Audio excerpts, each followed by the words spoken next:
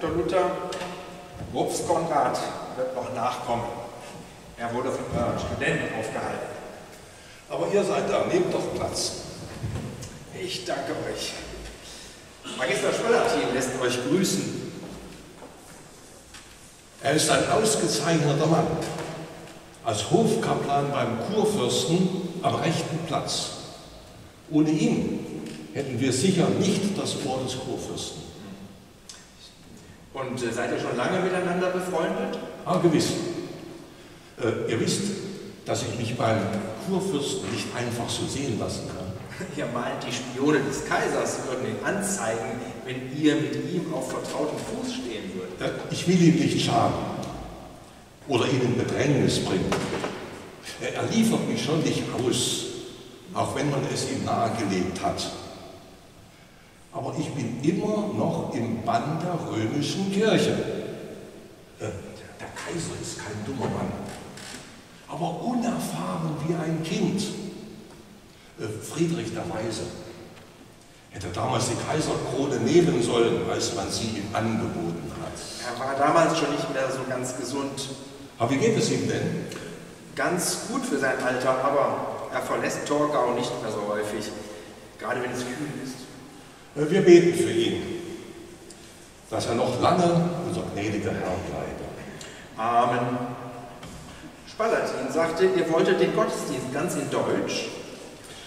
Ach, die deutsche Sprache ist mir lieb und wert. Aber an der Sprache allein liegt es nicht. Ich wünschte nur, wir hätten auch deutsche Lieder, Predigten, Evangelien, Psalmen. Aber das Wichtigste ist doch, dass alle eins verstehen. Dass Christus die Vergebung aller Sünden ist.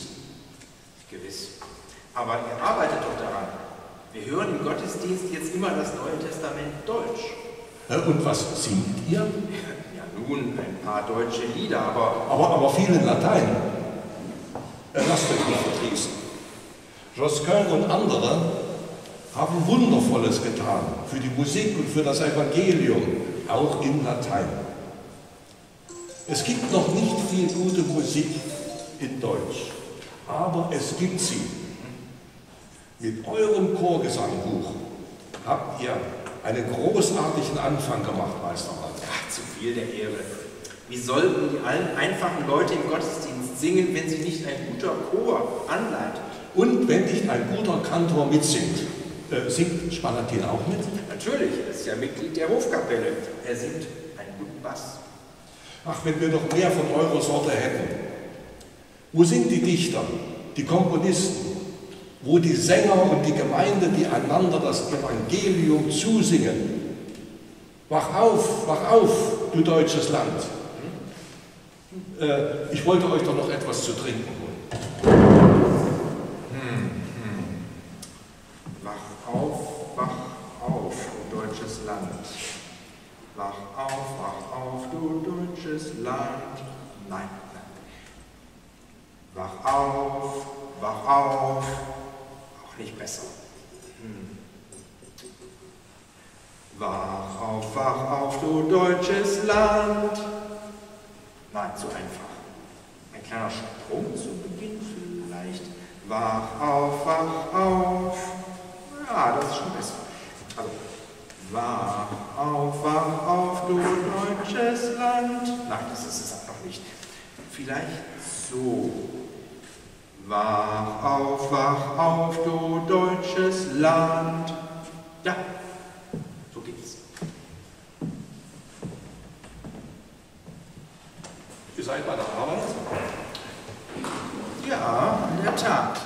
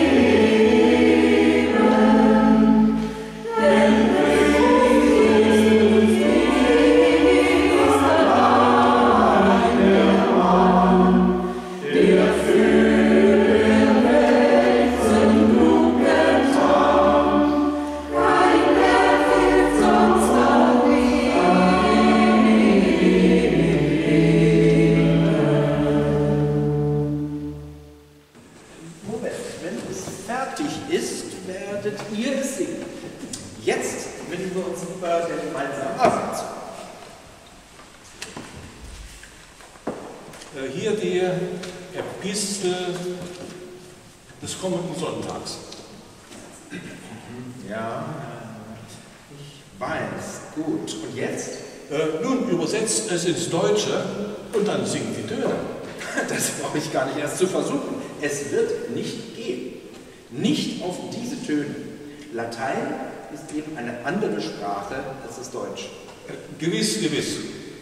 Seit vier Jahren arbeiten einige unserer Leute daran, eine deutsche Messe zu schreiben. Äh, übrigens auch Münster und Karlstadt. Aber sie übersetzen einfach so. Sie leben nicht in der Sprache. Augen zu und einen Satz draus gemacht. Dolmetschen, übersetzen, ist etwas anderes. Wenn auf der anderen Seite der Elbe ein anderes Volk wohnte, müsste ich mit dem Boot übersetzen, um dorthin zu kommen. Am anderen Ufer würde ich lernen, wie die Leute reden, was ihre Worte sind. Käme ich zurück, könnte ich unseren Ratsleuten erklären, was diese zu Hut und Mantel sagen. Aber ich müsste schon Jahre mit ihnen zusammenleben, um sie zu verstehen um ihre Sprache zu sprechen. Das Geschäft ist schwierig. Die anderen reden anders und singen anders. Ich weiß, was er meint, Dr. Luther. Die Lateiner sprechen und singen auch anders als wir. Sie singen lang, kurz, lang, kurz. Wir aber schwer, leicht, schwer. Ihr habt es begriffen. Daher wollte ich auch eure Hilfe. Eure Chorsätze sind deutsch gedacht. Äh, nun seht meinen Versuch mit einem Abschnitt für die Adventszeit. Ah, ja, das sehen.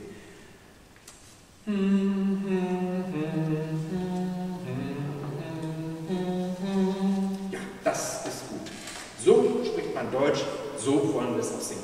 Äh, und dann das Evangelium. Ja, aber warum diese Tonart zum Evangelium und jene zur Epistel? Äh, nun, Paulus ist ein ernster, strenger Apostel. Da wollen wir Octavo Tono singen. Aber Christus ist ein freundlicher Herr. Dazu passt ein anderer Ton besser. Tja, jetzt müssen nur noch die Pfarrer singen lernen. Ja, ja. Äh, aber wisst ihr, es muss jede Gemeinde so singen. Christus legt uns kein Gesetz auf. Nur, dass alles aus dem Gottesdienst verschwindet, was uns groß macht und nicht unseren Herrn Christus. Wohl wahr. Keine feste Ordnung? Aber wisst ihr, wenn Christus zu uns redet und wir mit ihm, ja, was wollen wir da noch ordnen? Naja, aber werden das alle so sehen, Dr. Luther? Äh, nein, nein, nein, gewiss nicht. Darum nehmen wir doch Rücksicht auf die Schwachen und geben ihnen eine Ordnung, dass sie wissen, wie es gehen kann. Aber wisst ihr, wenn alles neu ordnen, alles verändern ohne Liebe geschieht, ja, dann ist es Sünde. Dann lasst uns sorgfältig arbeiten, Schritt für Schritt. Wie ihr Epistel und Evangelium angeht, das ist gut und richtig. Psalmen singen wir ja auch schon auf Deutsch, aber da ist noch viel Arbeit zu tun. Und was ist mit den Liedern? Ja, ich suche immer noch Dichter und Melodisten. Naja, einen habt ihr ja gewonnen. Und an meine Freunde werde ich auch schreiben. Gute Lieder, wisst ihr, singen das Evangelium direkt ins Herz. Ja, das sagen eure Feinde auch. Luthers Lieder richten mehr Schaden an als seine Bücher. Wer sagt das? Was glaubt ihr, der bei Hofe alles ein- und ausgeht? Aber seid ohne Sorge. Friedrich macht keine Zugeständnisse und Spalatin lächelt alles, alles andere weg. Amen. Wenn es doch noch lange so bleiben würde. Ja, was ist, wenn Friedrich stirbt? Das fragt ihr mich? Hm, Die Kapelle wird aufgelöst. Das ist beim Kaiser und beim Kurfürsten dasselbe. Und ihr? Naja, ich werde mir eine neue Arbeit suchen. Und da sei Gott vor. Aber ihr denkt doch sicherlich nicht zum ersten Mal darüber nach. Nein. Wisst ihr, wir haben in Torgau die Hofkapelle. Wo immer Friedrich hingeht, nimmt er sie mit. Und dann gibt es da noch einen Chor im Gottesdienst. Und da hätte ich gerne mehr Sänger, nicht nur 10, sondern 20, 30, 40. Äh, wer soll das bezahlen? Ja, nicht wahr? Und wenn sie nun nicht angestellt werden, sondern sie würden freiwillig kommen und singen? Ein Bürgerchor? Ja, warum nicht? Es gibt auch singende Bruderschaften. Und ihr habt ja als Student auch Kurrente singen. Äh, ja, sicher. Äh, aber das war unser Lebensunterhalt. Wenn du singst, geben dir die Leute etwas ab. Ich habe euch singen hören. Euch und euer Weib. Was im Haus geht, geht auch in der Kirche. Eine himmlische Kantorei auf Erden, bestehend aus Männern und Frauen? Erschreckt euch das? Oh, nein, im Gegenteil, Meister Walter. Damit singen ja noch mehr zusammen als hier in meiner Kirche. Christenmenschen sind oft zu faul zum Singen. Schreibt weiter, Lieder, ich bringe sie dem Chor dann bei. Genug für den Anfang. Gehen wir zu meiner Weibe, die freut sich schon den ganzen Tag mit euch zu singen und zu musizieren. Dass es Rom und der Teufel hören und sich ärgern und die Engel im Himmel sich freuen. Auf. Meister.